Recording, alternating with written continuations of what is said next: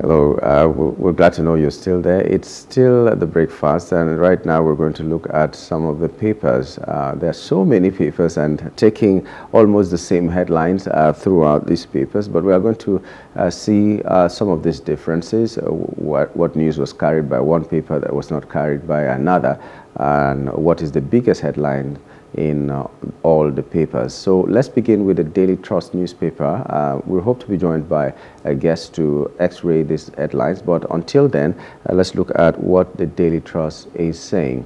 The leading headline there is seven weeks after Tinubu's visit, Nigeria UAE row lingers. Remember that uh, last time when the president visited the UAE, uh, some people, there were rumors that uh, all the problems have now been solved. Uh, problems between the UAE and uh, Nigeria have now been solved. And um, some people came out, the UAE government came out and said that was not uh, true. But whatever was the discussion in that meeting, um, we do not know uh, when the gains will start to show. Uh, the writers on that story are Nigerians in UAE cry out over work permit visa ban. Federal government working to resolve issue, according to an official, and decry slow pace in resolving diplomatic row. Okay, uh, another headline there, just above that, is impeachment plot. PDP governors meet today to save Rivers governor.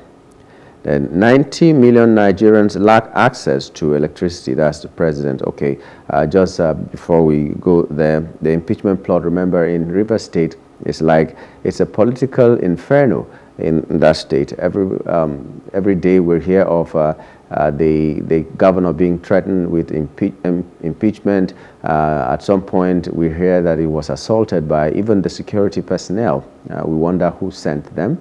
Uh, he was they poured water on him, and he himself is uh, claiming that he was being shot at by the security personnel themselves. But we do hope to have a guest that will be talking with us on that this morning, and he is in um, Port Harcourt. He will be able to give us a true picture of what is happening. So. Another headline is that 20 feared dead in Cross River Benue community boundary dispute.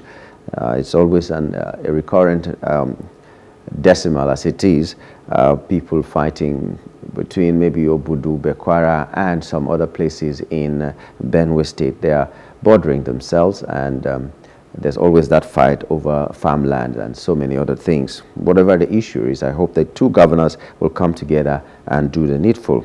Tinubu Atiku continue feud after Supreme Court uh, verdict. So the writers here are judgment mandate bandit robbery, ex-VP. Um, your inordinate ambition doomed as a presidency. So there's a war of words between the former uh, vice president of Nigeria and the presidency right now. While one says one thing, the other one counters, and the war of words, we don't know when that will end. All we want in Nigeria is good governance and that things be done the right way.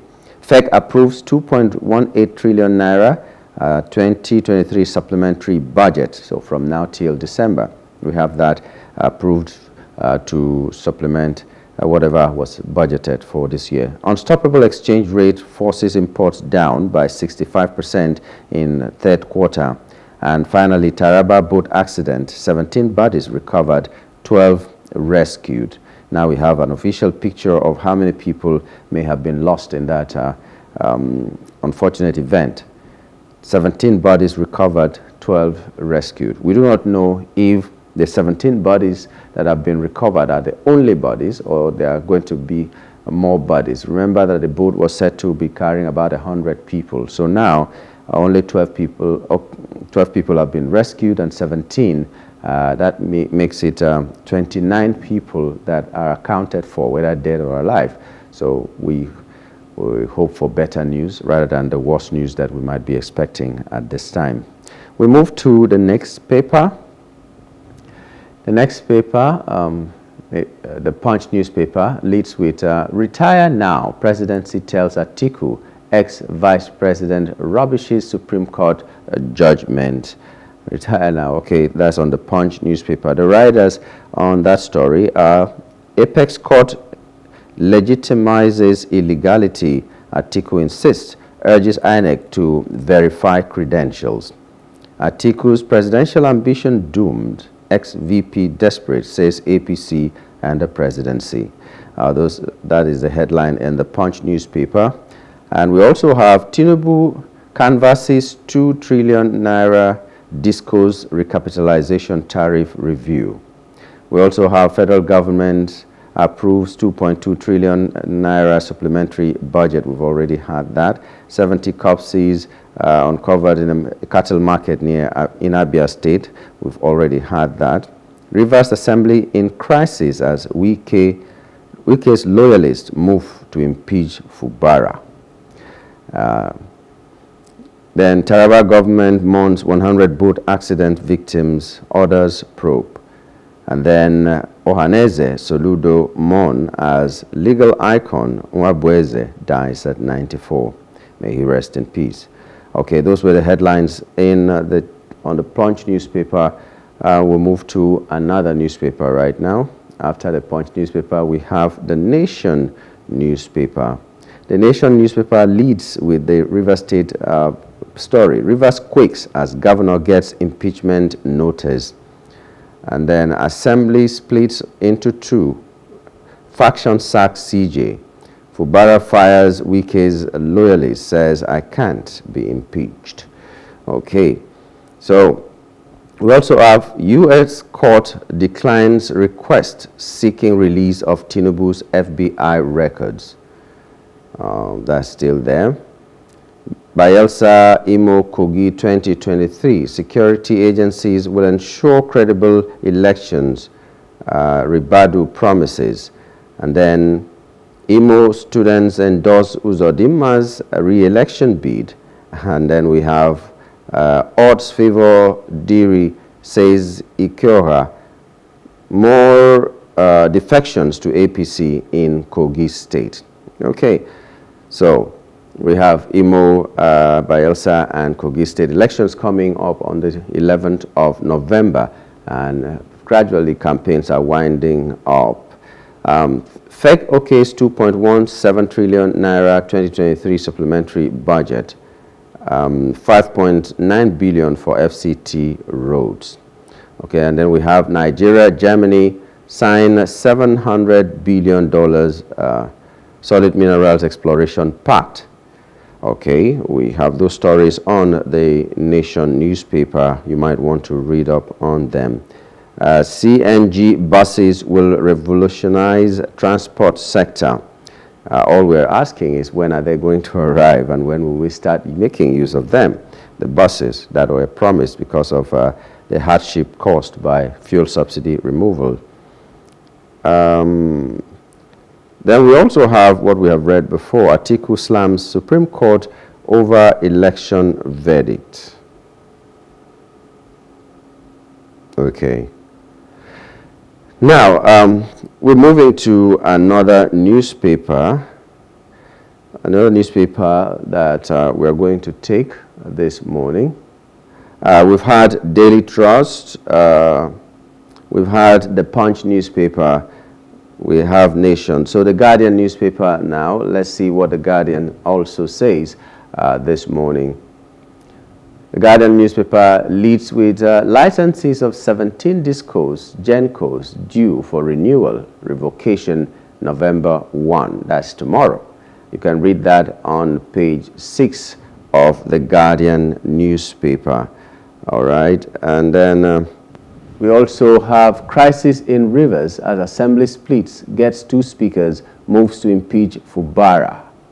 Okay, that's another very, very great headline there. Uh, River State is, like I said earlier, is boiling now. Uh, the governor is facing threat of impeachment. It's always been happening in River State.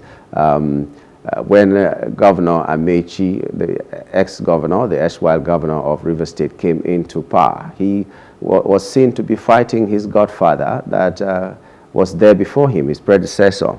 There was a fight between them. When Wike came into office, there was a fight between Wike and Amaechi. Now Fubara has come into office barely six months or thereabouts, and there's a fight between him and Wike. At least those are the stories that we're hearing, that um, the fight is between him and Wike. Uh, he's not doing the bidding of his master. And we hear that threats have been flying around. One of them is that, remember, I was your accountant general, whatever that means. Uh, let's wait to see how the coming days will be. If he's going to be impeached, what other skeletons can be exhumed from wherever they have been hidden? Uh, it's, it's, it's almost like, well, it's time to show where the bodies are buried, uh, as it were. But we do hope that the peace will reign in Government House in River State from Edo State to uh, Ondo State to River State now and to any other state that we are finding these problems.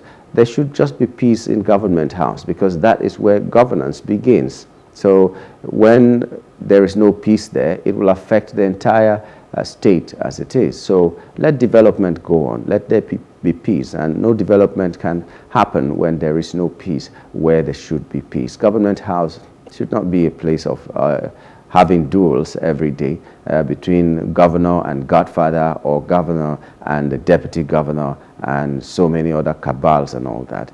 We want good governance and not um, uh, distraction that will make the people suffer. River State has a great arsenal, so maybe that's why everybody that goes there wants to cling to power on, in some way or the other. But there are states that we've seen the ex-governors not interfering or at least uh, even if they need to interfere, is to bring peace rather than to go and dictate to the people uh, what they need to do. A governor has all the powers to do what he needs to do. So if Fubara has really committed a crime that he needs to be impeached, well, we'll yet to see. Uh, let them bring it to the fore. And things must be done the right way. That's all we are calling for. Uh, but like I said, we hope to be joined by someone from uh, River State that will be talking to us on uh, uh, this very topic, what is happening in the, the, political climate in River State. In the meantime, we'll take yet another break and we'll be back in a moment. Stay with us.